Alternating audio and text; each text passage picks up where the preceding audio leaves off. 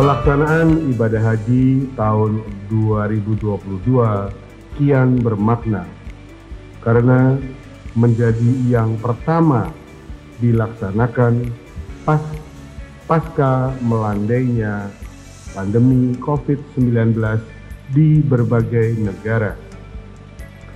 Perlu kita syukuri bersama bahwasanya daerah istimewa Yogyakarta mendapatkan alokasi sebanyak 1.427 orang jemaah termasuk petugas pendamping.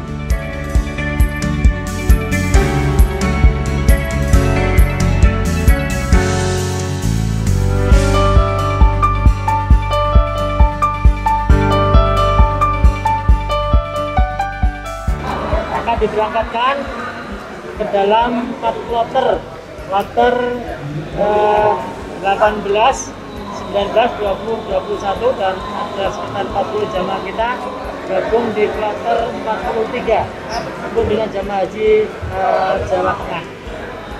Dan jemaah kita akan mulai masuk asrama haji tanggal 15 Juni, 16, 17, dan 18 kemudian tanggal 2 Juli kloter yang terakhir